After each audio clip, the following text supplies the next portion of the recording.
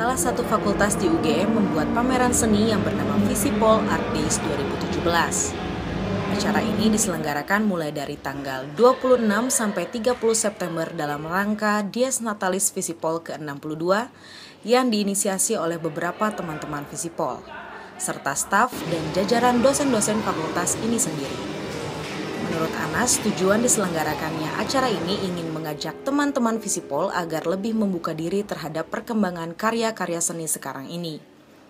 Karena penyampaian gagasan tidak hanya bisa disampaikan melalui tulisan dan omongan, tapi juga bisa disampaikan melalui karya-karya audiovisual, lukisan, bahkan instalasi.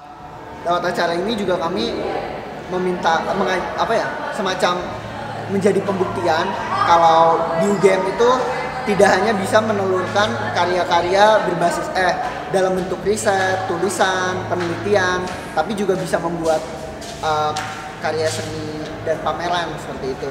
Tahun ini ada 23 karya, sembilan, uh, ada 19 berupa hasil kurasi dengan kurator Tita Asmani Winedar. Uh, dan kami mengundang empat seniman tamu uh, dari alumni Visipol UGM juga ada Jompet, ada Budi Darmawan, Aki Awe dan uh, Timotius Akusno.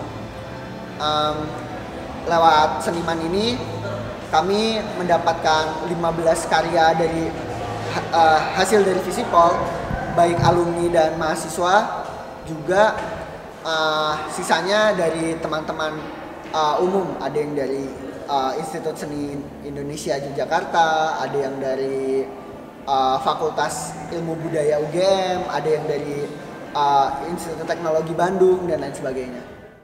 Sampai hari terakhir tanggal 30 September ini sudah ada 1.200 orang yang datang.